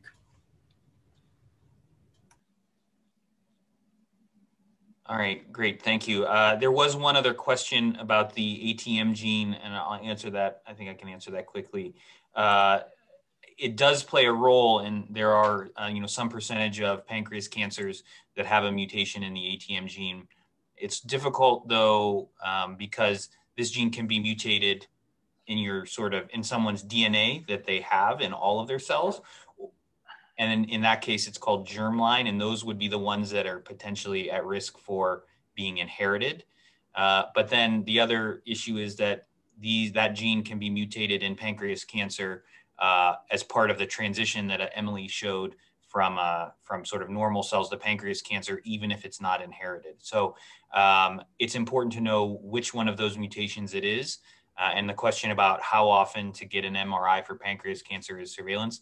I think that goes back to the fact that these are decisions that are made sort of in the context of a, a coordinated effort for prevention. So I think it's it's definitely important to be seen uh, in something like the, the prevention clinic to get a you know a, a, definitive plan and make sure we're doing the right thing for people and not you know over screening uh, in people who may not have any benefit from that screening. Um, next, there have been a few questions about COVID. Um, two sort of, and I, I mean, that's obvious, uh, something that we're all dealing with. So I, I think it, it's important to address that. One would be how COVID is influencing uh, care for patients and sort of delays to care uh, in patients, you know, in the era of COVID, uh, and whether that's affecting people, what the timeline people can wait for treatment. Uh, the second uh, was uh, maybe for uh, Dr. Morris, but I think everyone can speak to this as well, how COVID is influencing research activities uh, for pancreas cancer. Sure. So uh, in terms of, we may start with the research part. on the preclinical side, there, there was an early impact for sure as um, we early on shut down uh, and we've sort of reopened and are uh, at least performing essential research tasks. Things have slowed down a bit, but we're still making uh, considerable progress. Uh, we don't have uh, the uh, as, as many undergraduates performing research as we have, and so there's fewer folks participating. that's on the preclinical side. On the clinical side, similar things slowed down a bit, but have continued and um, probably others here could speak more to that. Uh, certainly on the clinical treatment side, uh, we continue to go ahead because uh, for many folks, this is something that cannot be delayed. I will say for um, the Pancreas Mass Clinic and getting new patients in, um, we've made a really big effort into um, offering video visits for a lot of patients to at least initially get them into the clinic and get them seeing providers and keeping everyone safe. So that really hasn't slowed down in terms of getting people into the clinic and getting kind of meeting your first initial visits and whether it be in person or video visits. And for clinical research, I run a number of protocols, clinical research trials for patients with pancreas cancer.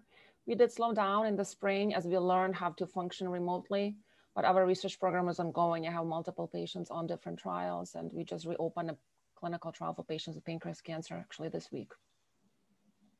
In regards to pancreas cancer prevention, we just opened in March, which was right before all of this was getting, you know, uh, increased significantly. But a lot of our patients um, have to have imaging prior. So we've been kind of evaluating those patients on a case by case basis to figure out whether we can move their imaging out farther. Um, these are surveillance patients. Um, and then patients for genetics, we've had a lot of new referrals for genetic patients that most of it can all be done um, in the comfort of their own home. They can meet with a genetics counselor via video. And a lot of the genetic testing panels are actually done with saliva. So they're getting sent to patients' homes. So um, I think we've all figured out how to adjust virtually as much as we possibly can in regards to patient care. Um, but it's been pretty incredible to see the things that we've been able to adjust so that we can still provide um, provide good care for patients too. So. I would add a, um, with regards to translational research, um, so we do have uh, protocols that are up, including the University of Wisconsin's Precision Medicine Molecular Tumor Board Registry. Through COVID-19, we've, um, we've had uh, approval for, uh, for electronic signatures, um, you know, in, in review of uh, contributing tissue uh, to be used uh, under those protocols. And our, our research teams are here, um, you know, both for, for COVID related research from some of our, our biobanks, um, but pancreas cancer research continues through efforts of our precision medicine molecular tumor board um, as well. Um, and, and, we do have opportunities for patients to participate in, in that, both from uh, access to next generation sequencing of, uh, of the tumors, but also um, in contributing uh, to the research that we're doing in, in deriving uh, individualized cultures for patients uh, from, from those cancers. Great, thank you. I think that's a, a great answer. Uh, there was sort of one question about what to do, uh, you know, if if um, treatment is delayed because of a COVID exposure or COVID positivity, and, and I would just say, you know, that's a very challenging situation, and I think we're all trying to do our best, trying to make sure that they need for their cancer, but also we certainly don't want to put them at risk uh, from something acute uh, if, if you know there's a chance that they might get COVID. So unfortunately, it, it's sometimes frustrating for patients, uh, but you know I think it's important to remember that you know getting you know if, if they were to get COVID on treatment, we are very worried about that. So um, we we do take that very seriously and, and try to balance uh, that uh, as part of their treatment. Um, next, I think I'd ask uh, maybe Dr. Kratz this is a, something I feel passionate about, uh, even as a surgeon, uh, but maybe palliative care plays into patients with pancreatic cancer and, and how that factors into our uh, treatment plan for people. Yeah, that's great. So, um, you know, as a, as a senior fellow here at the Carbone Cancer Center, we're trained in hematology, oncology, and palliative care. And so palliative care certainly is a component of, of how we're trained and how we approach um, a serious cancer like pancreas cancer. Um, that being said, palliative care offers a layer of support for patients with advanced cancers, and that can range um, from, from family support to understanding you know, more about, um, about the, the components of, um, of symptoms that, that cancers can cause in the in the advanced phase. And so it really is a, a layer of support to help our patients um, that's focused on, on quality of life and measures that are directed at improving symptoms related related to the cancer. As a medical oncologist, sometimes that can be helpful because uh, it provides us the opportunity to focus on things like what are the chemotherapy doses and how does that influence the toxicities that patients have or the side effects that patients have and, and, the influence that that has on their quality of life. And it provides kind of an independent um, opportunity for a patient to review some of their symptoms or the, the goals related to the, their cancer directed therapies and really have a sounding board that's independent of the relationship with their oncologist. So certainly our, our palliative care colleagues are, are fantastic. They are, um, you know, a big part of, of treating um, advanced cancer, but I think the, the same is true of patients and their families. When we think about the influence of COVID-19, I think that having a you know an understanding of the people around a given cancer patient, I think that that's that's that's important as well. Um, but I think that palliative care is is is very integral to a disease like pancreas cancer, where um, you know where where we worry about um, not only the prognosis, but we, we also worry about the things that we ask our patients and the, the toxicities that they have from the therapies that they go through. Um, and so palliative care provides a window to have an open discussion about, about those, those types of, of um, you know, of features. Thanks. Yeah, I, I think it's uh, important for everyone who's listening and uh, to know that, you know, we will often as providers talk about talking with the palliative and supportive care group. And I think they get a bad rap because um, unfortunately just uh, people think palliative care and it means we've you know they're being told that there's nothing you know more to do for them uh, medically and it's time you know they're that that's kind of it. And really that's not how we view it. Um, we view them as a group that helps patients make it through the the therapies that we recommend. So um, if you hear you know a provider talking to you about you know palliative and supportive care uh, definitely something talked to about and just because you know you talk to them doesn't mean that you were sort of not doing anything else. You know that's just uh, definitely something that becomes part of the care pathway that helps people make it through uh, whatever it is uh, the treatment uh, recommended to them. I will say too in the pancreas mass clinic um, as the navigator there i do place a number of referrals to palliative care at that initial contact. So especially for the patients that are you know, having way more symptoms for their disease or patients that are presenting um, with stage four metastatic cancer, you know, getting them involved really early on in the process, I think is really important for those patients. Great. Um, I think uh, maybe I can ask uh, Dr. Morris uh, when um, maybe just in general, how do we you know determine in, in, the part of a multidisciplinary plan what are the general areas we decide to radiate uh, pancreas cancer? Sure. So, um, uh, and I think the question that I want to make sure there's not confusion my talk was uh, really focused on future directions and research approaches that I hope and you know potentially one day could become uh, realities in terms of how we use radiation. But that was a, a research talk, and uh, currently we're we're not doing that. That would be part of like a clinical trial.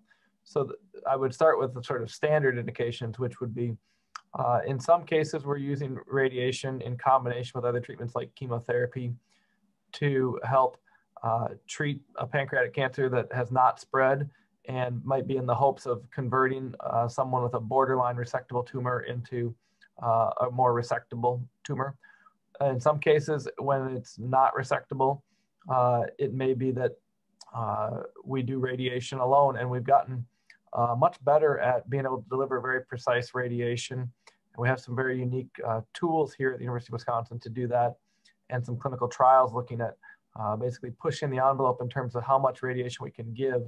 And uh, with some early data suggesting that when we give more radiation, which we now uh, have the ability to technically do, that we can achieve better outcomes. So those are some of the primary areas. In addition, uh, while sometimes uh, in the later stages of disease, patients may become too sick for uh, something like chemotherapy or surgery, many times we can still deliver radiation in a palliative setting uh, and help with pain or things like that. And so that's another area uh, that radiation can play a role for patients. In terms of the, the research side of things, uh, we do hope to open uh, some clinical trials in the pancreatic setting, as I mentioned, um, uh, with immunotherapy and radiation together. And in that setting, we're using generally much lower doses of radiation than what we would be doing if we were trying to kill the tumor with radiation alone. Uh, we're simply trying to use that to stimulate an immune response. And it would um, generally be given uh, together with or slightly before an immunotherapy because we want the radiation to stimulate a response and the immunotherapy to uh, then uh, expand that response. Great, I think that's that's perfect. Um, there was uh, early on, and then as well another follow up on this. Uh, if someone like to, we you know, we talked, uh, I think a lot of the talk focuses on pancreatic or the toxin, everything that we've heard about talks about pancreatic ductal adenocarcinoma, which is one of the more common things that we treat. But certainly we do see a lot of patients with pancreatic neuroendocrine tumor, which is, uh, you know, though it's in the same organ, a, a very different uh, disease process. Um, and so if someone would be willing to comment on pancreatic neuroendocrine tumor and some of the um, you know main differences uh, that we see with with those.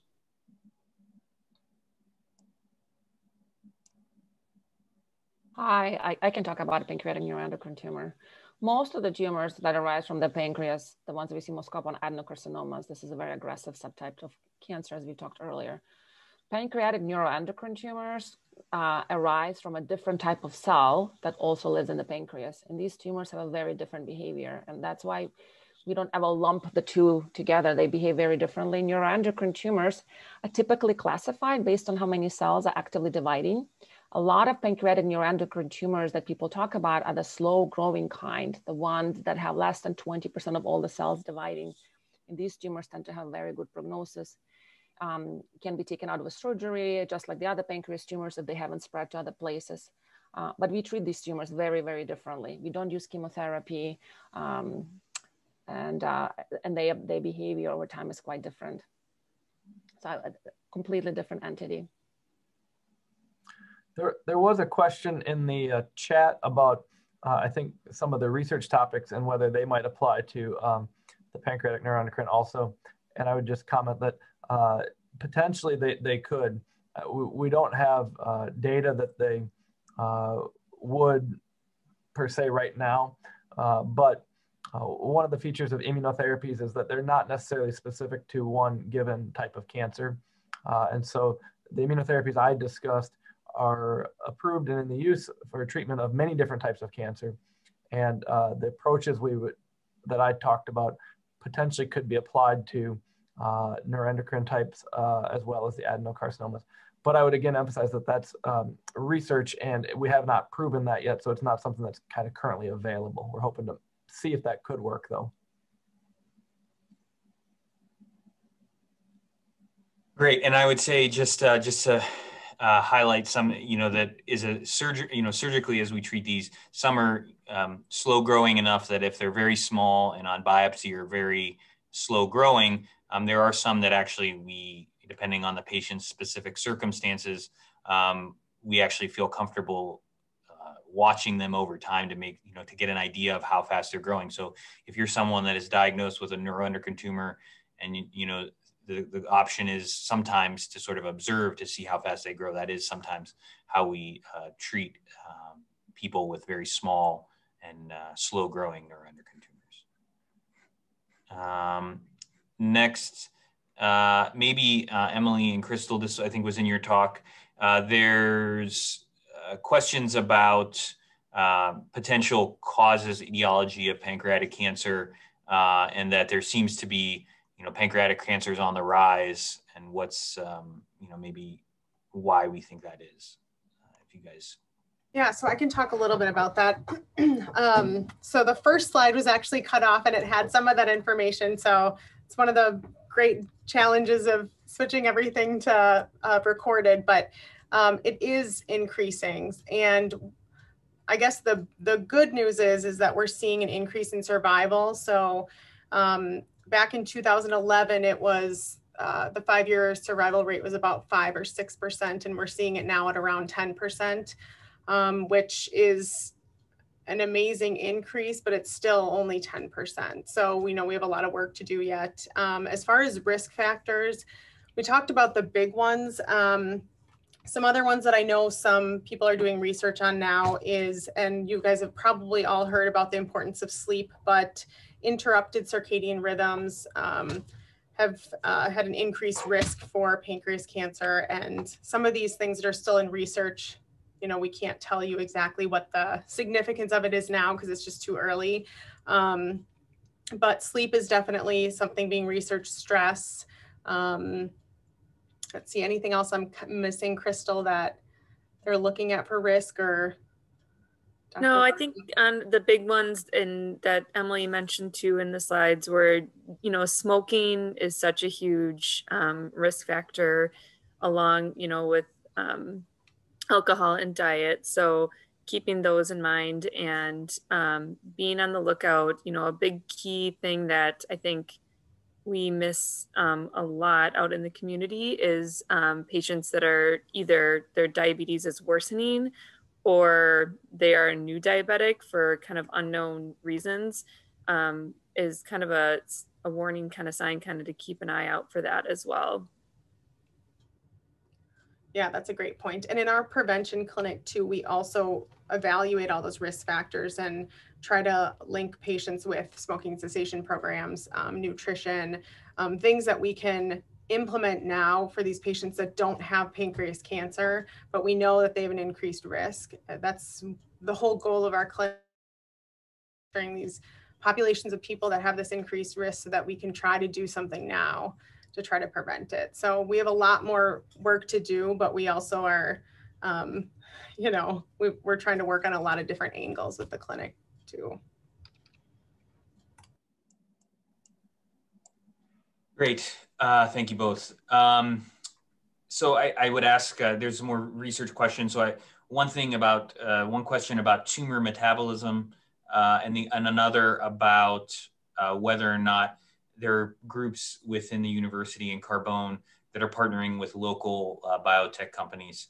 Um, I'm relatively new to the university, so I, I leave that up to maybe those who've been here longer and more engaged to give an idea of maybe what some of those things, what some of those partnerships are and, and yeah, for sure. Um, so here in, um, in the McArdle Research Laboratories, we look uh, specifically at the metabolism of pancreas cancer cultures um, derived from patients, um, both at baseline and with um, an, under kind of the, the selection of chemotherapy um, in our models. And what we find is, is that kind of the diversity of metabolism and the ability to kind of expand various metabolic states, that that plays a, a particular role in the resistance and that cultures that have kind of more, uh, more elaborate uh, expanses and can have different forms in, in our cultures, those are the ones that are, are most resistant to the therapies that we, that we see. Um, at a national level, there's a, a, phase three trial called Avenger, um, which is completed accrual that's looking specifically at, at targeting metabolism. Um, and our hope is, is that we'll have a, a read of that trial uh, here within the next year or so um, to, to consider kind of, you know, is inhibiting uh, pathways of metabolism, how does that play in uh, to our therapeutic strategies? But we're waiting on kind of the maturation of, of those treatment types. Um, I would I would add there was a question in the chat about Agent Orange exposure in pancreas cancer. Um, here at UW, uh, we, we do have a partnership uh, with the Veterans Administration, um, and um, out of that, um, we we have a protocol that actually um, is looking nationally at whether or not there's specific gene alterations or mutations in cancers and how that links back to Agent Orange. And so that actually is, is research um, that we have IRB approval for, and we're, we're working through those data sets uh, at this time. But currently, um, there's no clear link between Agent Orange exposure and pancreas cancer research, like what we see in other cancers, specifically um, in, in cancers like lung cancer. Um, that, that is one that that link has been, been uh, proven and, and there's uh, enough evidence base to say that that's more likely than not for, for our veterans who, um, who served in, in Vietnam. But currently we don't have uh, that enough information, but that is active research actually that, um, that we're doing here at, at, UW through kind of national registries um, of, of uh, VA uh, data sets. And specific to the question about biotech interactions, there, there are uh, many and broad interactions between um, many researchers here on campus as well as clinicians uh, between uh, both Madison-based biotech uh, and pharmaceutical companies and, and worldwide biotech and pharmaceutical companies.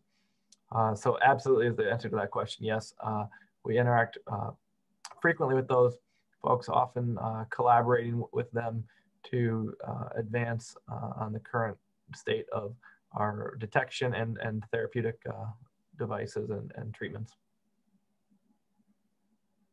Great, that's perfect. Um, there was another question in chat that's maybe surgical in nature, and I'm happy to, to answer it. Um,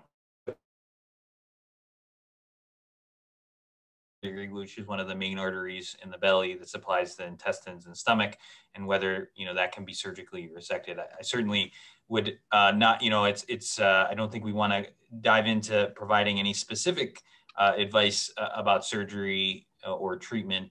And certainly we want everyone to, you know, come in and see our providers here. And so we can get a very good idea of specific cases uh, and give, you know, uh, appropriate information. I will say in general, though, um, it hits on a point that is important to know about pancreatic cancer treatment. surgery certainly is something that we hope to offer you know everyone uh, potentially uh, as a as part of their treatment pathway. Um, one of the main things that sort of uh, decide you know determines whether or not that's possible for people uh, is about how those tumors um, interact and sort of are they're positioned around some of the main blood vessels, arteries, and veins in the in the belly. Um, what we know is that for some people, we can do surgeries that you know resect or sort of take out and reconstruct some of those blood vessels. Um, but in, in very specific cases and after patients have usually gotten chemotherapy first, potentially radiation, uh, because what we found is that if we do very big surgeries to take out and reconstruct all these blood vessels, um, it, it very much is sort of a, a marker that you know, we can't control it just with surgery and it becomes a very big surgery to recover from. So we only do that in cases where we think that it's going to mean a meaningful survival from their cancer to sort of justify such a big surgery.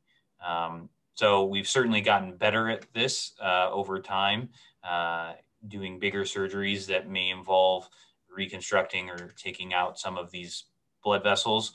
Uh, and the reason we can do that is because we've gotten better with chemotherapy and radiation to kind of shrink the tumors or control uh, some of the other cancer cells in the area. So, um, you know, that's that's how I would answer that question. That it's hard to say specifically, but in the right setting, um, we can surgically address um, many of these tumors, uh, even if they're nearby some of those uh, blood vessels.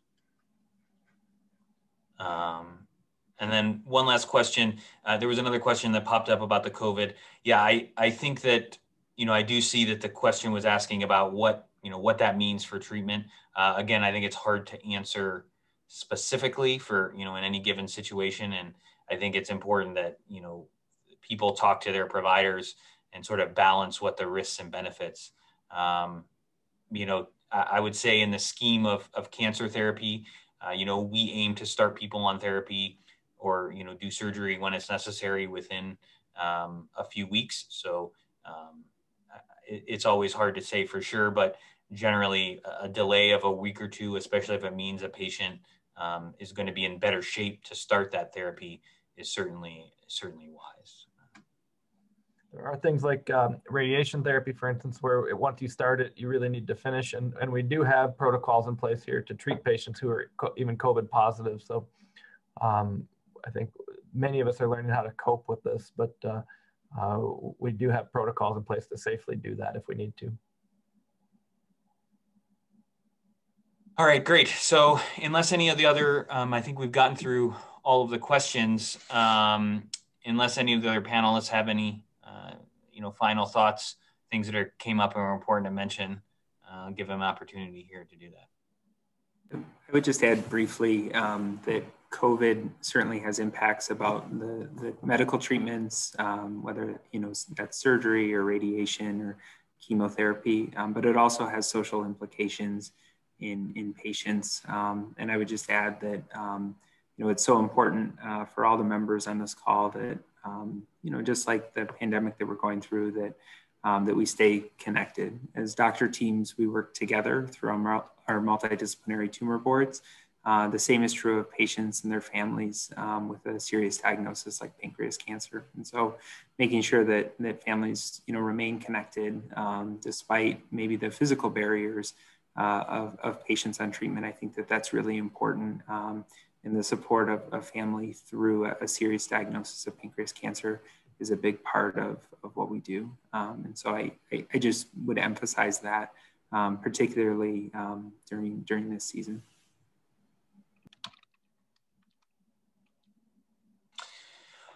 All right, great. Um, so I think we'll uh, wrap up here. Um, I'd like to thank the organizer of this event, uh, Dr. Sofia Refatoff, uh, and hosts uh, Mary Nutt and Carrie Miller. Um, to our presenters and our task force volunteers, our patients and our caregivers, uh, and again, uh, excellent panelists for this evening. Um, but I think most of all, everyone involved in the call or sort of planning this, um, sort of the only reason we do it is for you know you, the community participants who who have taken that time to call in uh, and join us tonight. Um, we're grateful that you could be with us today. Um, you'll receive a link via email to a recording of this presentation. Um, I think we tell patients that, you know, hearing things more than once is helpful. So I'd encourage everyone to sort of, if you thought you heard something and, and want to hear it again, uh, do that. Um, so we at the Carbone wish you a good and safe uh, Thanksgiving holiday as well as a holiday season to everyone. Uh, stay safe. So thank you.